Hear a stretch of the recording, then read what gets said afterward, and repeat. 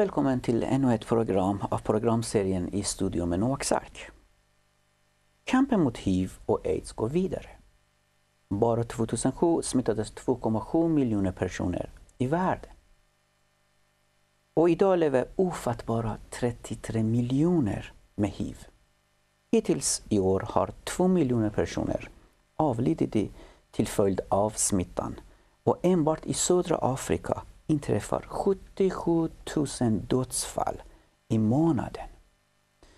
Det finns siffror som säger att eh, i år 4,3 miljoner i världen smittades, en ökning sedan förra året. Trots de dystra siffrorna finns det hopp. Riktade insatser mot riskgrupper, bättre behandlingsmetoder i kombination med information om sjukdomen och kamp mot diskriminering av sjuka har givit goda resultat i många länder. Som sagt, idag vi ska prata om hiv-situationen i världen och för att få hjälp med detta, vi har gäster i studio som jag välkomnar er. Välkommen till programmet. Tack. Kan du vara snäll och presentera dig? Mm, jag heter Karin Axelsson och jag är distriktssköterska som nu jobbar här i Växjö. Men jag har varit och jobbat några år i Mosambik, i norra Mosambik med utveckling av primärvården. Mm. Och det jag kom hem för fem år sedan så mina erfarenheter har ju några år på nacken men jag följer ju utvecklingen där nere. Så att, och du? Ja, jag heter Per Andrén och är distriktsläkare i Växjö. Och har varit ute tre gånger i Kenya och jobbat som ja, jeepdoktor kallas det för där. Och första gången var 97 eh, och sen var det 99 och sen var det 2006. Så att jag har kunnat se lite förändringen över tiden där också. Mm. Bra. Om vi börjar med Karin. Mm. Eh, beskriv situationen. Hur upplevde du situationen med hiv i Mosambik? Mm. Jag måste bara börja, när du sa alla siffrorna så kom mm. jag på en, en sån där sifferexempel. Och Mosambik är ett land som är både till ytan och till folkmängden dubbelt så stort som Sverige. Eh, och när jag var i Mosambik då, sa man, hade man räknat ut att ungefär 700 personer smittades varje dag. Och då tänker jag att det skulle vara ungefär som om det var 350 personer som smittades varje dag i Sverige. Mm. Bara en sån där siffra för att få, få ner Och vi vet att ungefär det är upptäcks ett nytt fall i Sverige per dag. Ett nytt fall per dag. Mm, per år vi har den siffran som ja. där var per dag nästan. Ja, precis, mm. per år.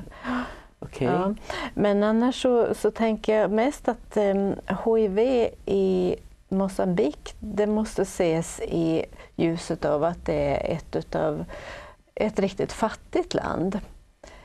Eh, så för människan i, i Mosambik, när jag var där så visste de flesta som bodde i tätorter visste ungefär vad HIV var, eller kanske inte de flesta men ganska många i alla fall. Så att då var det ett, ett kunskapsproblem.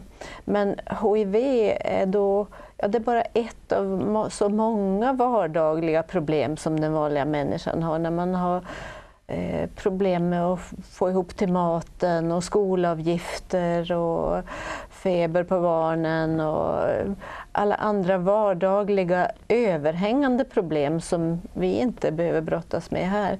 Då, ja, då kommer det någon och pratar om en eh, farlig sjukdom som man kanske har och som det kanske händer någonting att man dör av den om, om några år. Men eh, det var liksom så overkligt så att det som när vi jobbade med HIV-information mycket eh, det där låg oss, eh, eh, alltså det var ett problem då, att tränga igenom mm. det här, att det här Andra faktiskt är verklighet. Och då så var det också så att de flesta som var HIV-positiva hade ingen aning om det och jag tror att det kanske är så fortfarande att de flesta vet inte om sin HIV-status och vill kanske inte heller veta det. Fanns något möjlighet för, till behandling för dem? Människorna? Då fanns ingen möjlighet till behandling. Eh, jag tror att det var 2003 när jag var där sista perioden eh, infördes det behandling för sjukvårdspersonal. Om man var sjukvårdspersonal. Men jag kan berätta en historia om en kväll när jag satt med en kollega, Adelina som är barnmorska på sjukhuset.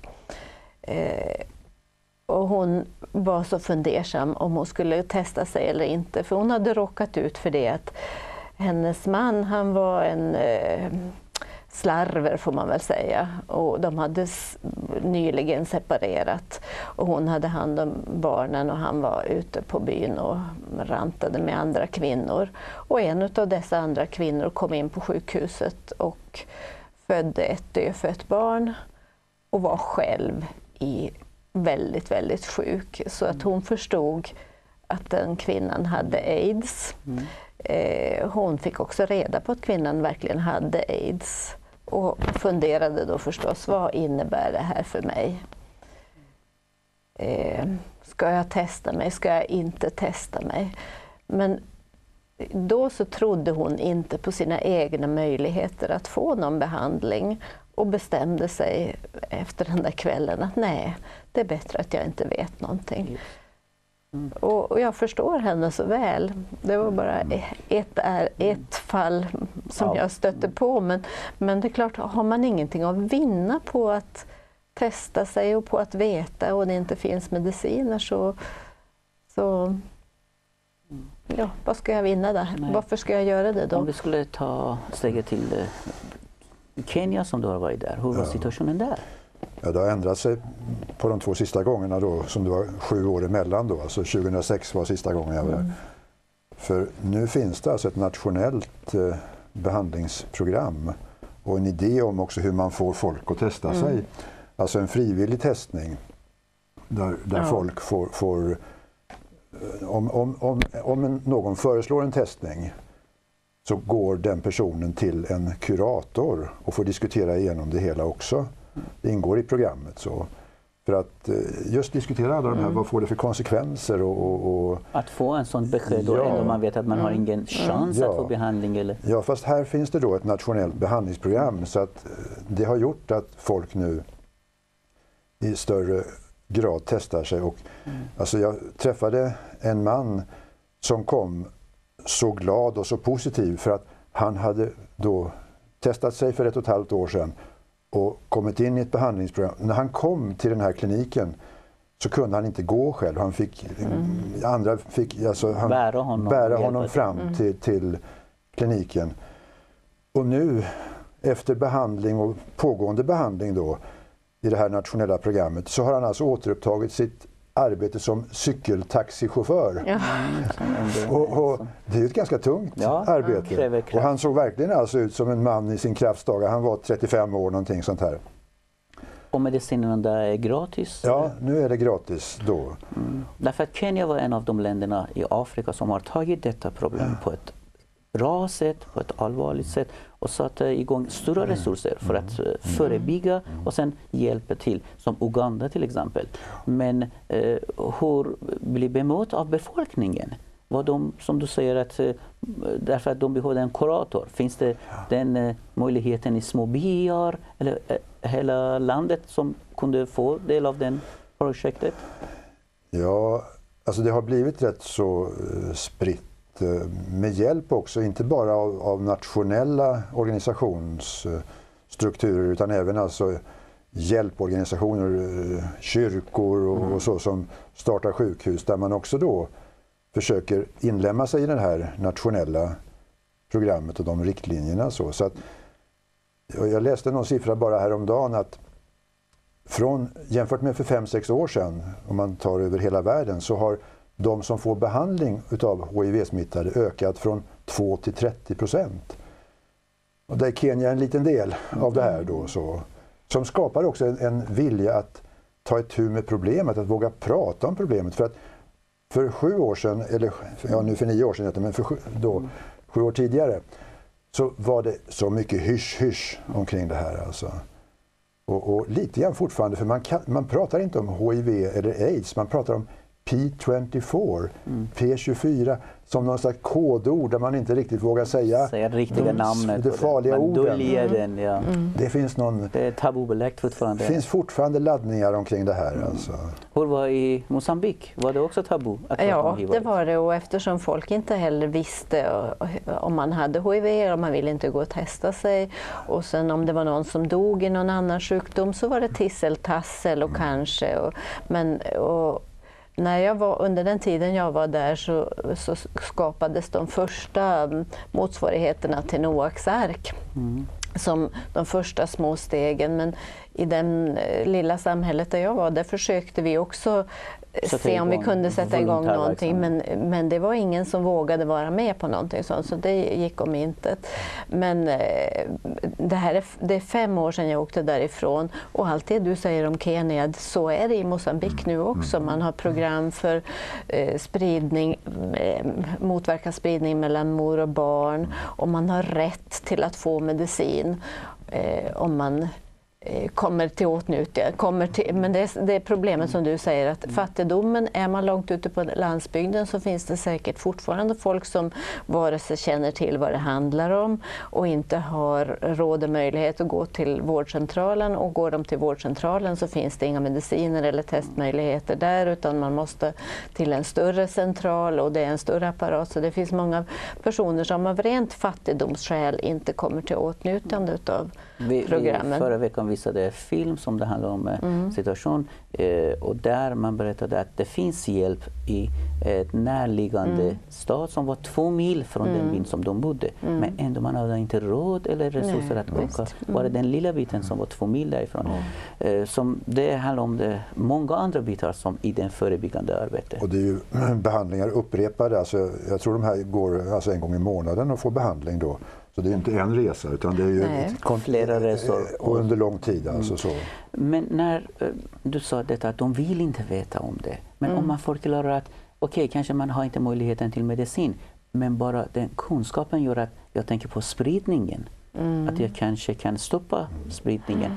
Mm, och det är kanske mm. det minsta som man kan lyfta upp och säga att det kan vara mm. poängen ja, med visst. att man testar sig. Ja, jag vet. Och att eh, lika viktigt veta att jag har inte HIV och jag kan fortsätta att skydda mig genom att, eh, att skydda mig genom att eh, på de och veta hur jag ska göra det också. Och där jobbade vi då och det vet jag att det pågår ett brett arbete på alla möjliga olika plan och ett väldigt roligt arbete också med ungdomar och i föreningar och kvinnogrupper och skolor på ren inform mer information.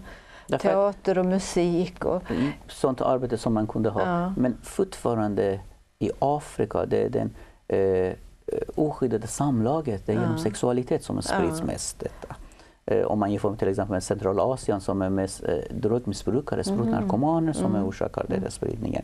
Men om man kan inte prata om det, mm. det på så sätt man har inte lätt att stoppa spridningen. Mm. Men eh, jättebra att ni har så olika metoder som du sa att de satte igång med det. Men hur var i Kenya?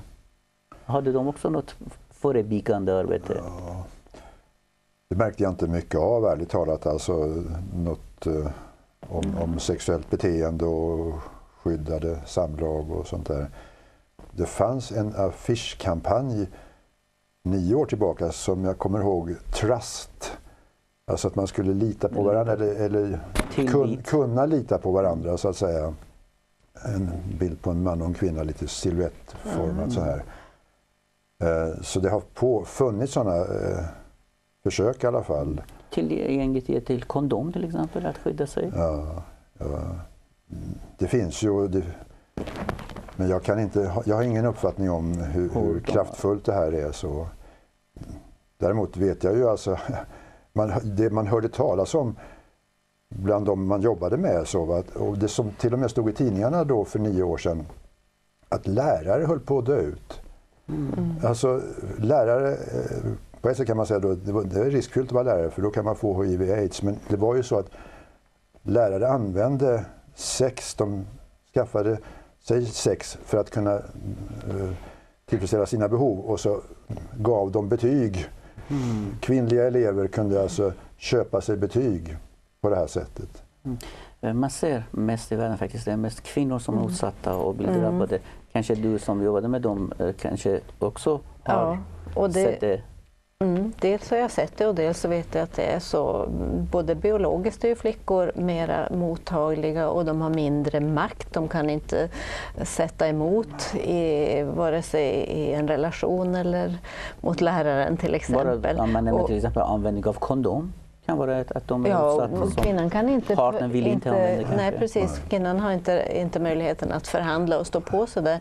Eh, en, en flicka som eller i ett sammanhang jag satt och diskuterade med ungdomar och det öppnade ögonen för mig så därför så mm, kommer jag ihåg den situationen så väl. Där med, eh, vi pratade då om vikten av kondom och, och så vidare och så säger killen som sitter bredvid mig, ja men om vi är hungriga i familjen Just pengarna går vi, har- först. vi har i, i, inte mat och sen så får min syster, hon får en krona av mamma för att gå till marknaden och köpa fisk. Eh, och sen kommer hon hem med fisk så att det räcker till hela familjen och vi äter det. Och den fisken vet vi att den kostar fem kronor. Mhm. Hur har hon fått, se, hur har hon fått fisk för fem kronor för en krona? Och det, är- alltså det är ett vardagsexempel, en, en slags, ja, vad ska man kalla det för prostitution? Men överlevnadsprostitution och inte bara för sig själv utan hon skickas utav mamma. Familjen. Kondom är inte aktuellt utan det är för överlevnaden. Mm. Så att, kvinnans ställning, att stärka kvinnans ställning är en av de allra viktigaste sakerna för att um, bekämpa kunde ni hiv se något hopp där? Om man säger ljuset i tunnel eller på något sätt någonting som skulle vara bra?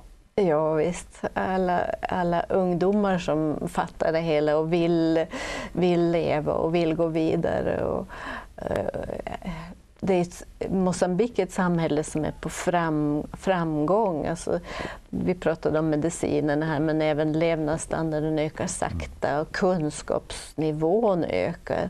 Och det finns en kraft och glädje som verkligen ger hopp.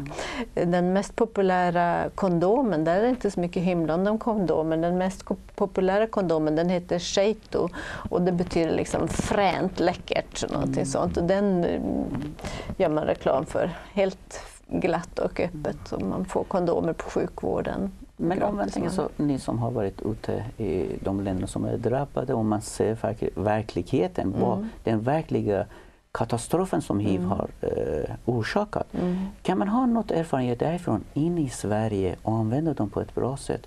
Finns något koppling? Ser ni något likheter? Eh, Jag tänker ju mycket eftersom jag nu jobbar med ganska mycket unga människor i Sverige och jobbar med klamydiaprovtagning och klamydiakampanjerna här och vet hur klamydiasiffrorna eh, är höga i Sverige. Klamydia sprids på precis samma sätt som hiv. Eh, Jag ser en, en tydlig koppling där. Jag vet att vi har ett mm, beteende i Sverige, ett, smitt, eller ett, ett beteende som befordrar smitta. I vårt fall för hiv, eh, klamydia och i, i Mosambik är det samma beteende som, Som sprider ungdomar. hiv. Därför den riskbeteende som Mm. man har i Sverige, Mm. med tanke att det finns klamydia i samhället, det, det är den som drabbar ungdomarna. Mm. Men om vi har en spridning av hiv, Mm. precis som Så hade det- då har det också varit, varit det. Eh, sen så i Mosambik så eh, fick jag kännedom av det som kallas för peer education. Det är nog inte född i, i Mosambik men där såg jag ju och var med om utveckling av flera olika initiativ där ungdomar lär andra ungdomar, lastbilschaufförer lär andra lastbilschaufförer, kvinnor lär kvinnor och så vidare. Och sen när jag kom tillbaks till Sverige så upptäckte jag att jag på Växjö universitet hade man startat just ett sådant projekt och det tror jag är, är P6 någonting som vi har, vi har hämtat in så att säga från erfarenheter i, är i Afrika. Och du Per, någonting som du kan jämföra? Ja, då jag ska säga...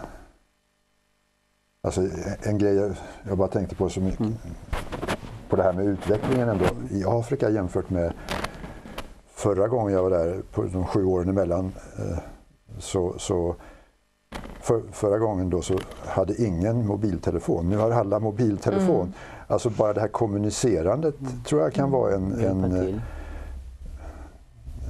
ja, det, jag tror att det kan vara till nytta. Det är ett, ett land som har svårt att kommunicera med varandra. Och det är i alla fall tecken på att det sker snabba förändringar. Så att säga.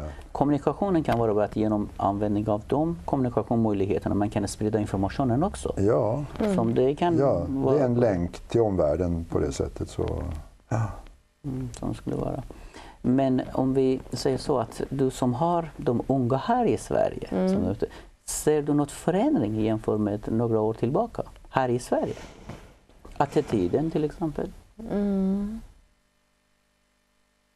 Jag vet inte riktigt, för att jag har inte jobbat med den åldersgruppen som jag jobbar med nu, mm.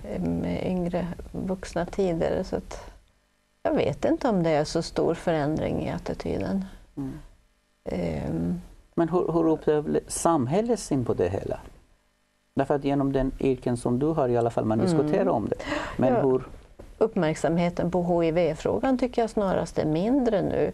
Mm. När eh, HIV upptäcktes och vi blev rädda för det så fanns det en slags eh, eh, visserligen kritiserad, kritiserade kampanjer men det var ändå en uppmärksamhet. Och då tänker jag att eh, jag jobbade i skolhälsovården nu ett par år också och där känner jag att bland unga, eh, ungdomar så behöver man verkligen prata om om HIV eh, också, inte bara om klamydia. för att, eh, det är själva risken att man blir drabbad av HIV, det är en sak för sig. Men sen bemötandet till dem, mot de människor som mm. bär på HIV också är en annan sak. Mm. För att man måste tänka att de människor som har HIV, mm. eh, de, de, har naturligtvis skyldigheter med tanke på den smittorisken som de har. Mm. Men samtidigt måste att de har rättigheter också. Mm. Att de måste bli behandlade, inte som en sjukdom, som en mm. människa. Och den informationen är väldigt viktig också att det spridas. Eh, och därför jag undrar till exempel om man jämför det hur var i, där du var i Kenya i flera tillfällen har det blivit bättre att ta emot människor som bär på HIV eller fortfarande så att man vill inte genom familjen till exempel i samhället? Nej, men det har blivit öppnare nu. Alltså, och jag, alltså, nu vågar de, de här som har kommit under behandling och så också stå upp och, och, prata. prata om att de går under behandling för detta. Och de, vill, de vill gärna dela med sig av sin erfarenhet. Alltså, de vill försöka få med engagera sig i att locka andra att, att uh, testa sig och komma under behandling och uh, ja, få, få de vill få bort den här sjukdomen mm. från samhället. Jag tror att de känner ett ansvar också och vill vara med. Ja, och dela ja. sina Bra. En, en, jag pratade med en god vän som har också varit i Mosambik och jobbat med HIV-frågor i Mosambik och nu jobbar med HIV-frågor eh, inom vården i Sverige idag. Och hon, hon sa också det att i Mosambik där mm, det blir en del av vardagen, det mm. stärker ungefär det som du säger. Mm.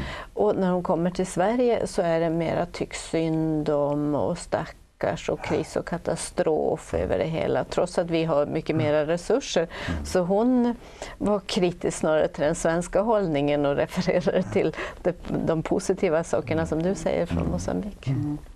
Eh, om du skulle tänka tillbaka, det finns sådana bilder som fastnar när man är på plats eller så. Kan du berätta någon av dessa minnen som du har? Ja, jag kom, det första som kommer i tankarna det var eh, det första året, första året, det var första december jag var där. Det måste ha varit 99 då, eller om det var 2000. Ja, strunt samma. Då, åkte, då skulle vi i sjukvården göra kampanj kring HIV-aids.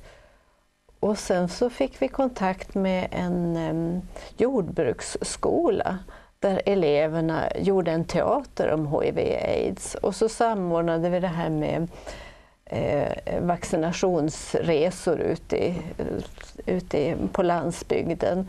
Så vi reste med lastbil och, och skruttig lastbil och jeep ut i oländiga vägar och var bland annat eh, på ett område där det fanns ett, ett ett eh, fängelse, ett, en öppen anstalt. Och där var det blandning utav mammor med barn och, som skulle vaccineras och fångarna med sina fångvaktare och sen de här jordbrukseleverna som, som hade en, teater. en teater och alla skrattade så mycket för teatern var ju lite rolig förstås också. Och alltihopa handlade ändå om det här allvarliga ämnet. Och, och det var ja, förstås för att det var första gången jag var med, men det var också sån kraft i det då att eh, ja, man, nu kommer vi verkligen långt ut och vi kommer till människor som, som eh, inte nås av eh, andra kampanjer, eller, utan det är långt, långt ut på landsbygden och, och människor mm. som inte har lätt att ta till sig information. Mm. Och då blev det så lyckat. Okej, bra. Och du Per som uttryckte som ja, jeepdoktor, du har ja, haft många resor. Nej, men jag tänker lite grann på jämförelserna med de här första gången för 11 år sedan då. När jag då förstod att en patient, en, en ung en man, hade aids och var jättedålig. Han var inne på sjukhus ett tag för han hade också tuberkulos och så. Mm. Och jag, jag, jag, jag, hade på något sätt den här attityden att man ska tala om vara öppen och ge besked vad det här är och sådär då.